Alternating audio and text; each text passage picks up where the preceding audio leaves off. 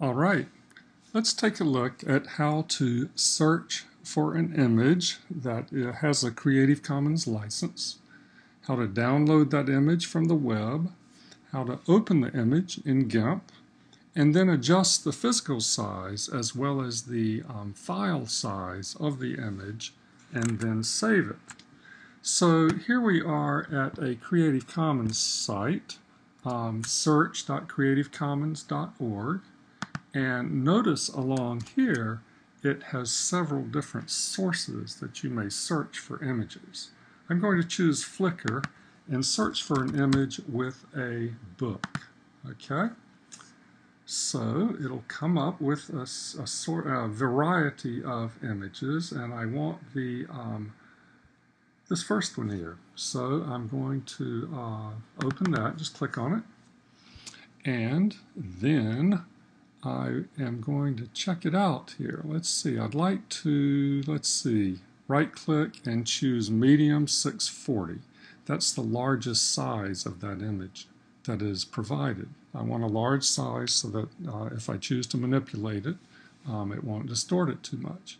So now that I have it in the large size on my screen, I'm going to right click and save that image. And You'll notice that uh, often images are given uh, rather bizarre names. I'll just call this book, okay? Brief name, meaningful. I don't need to say book image because notice it has the file extension for JPEG, so I know it's an image. So we'll save that.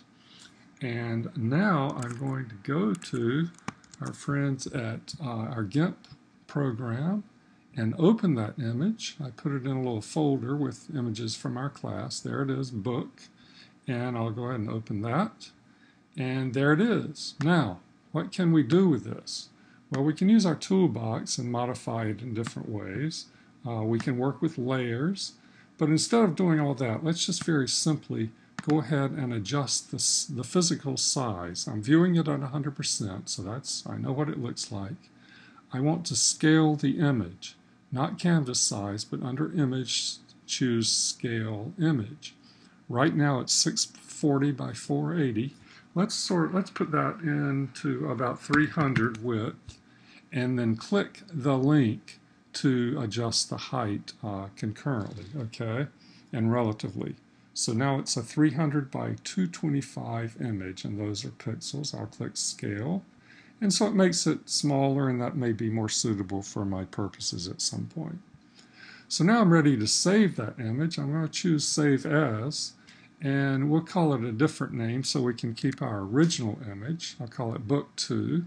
Click Save and it's um, the first thing it asks you when you save is what quality do you want this? 90 is the default, 90% this is.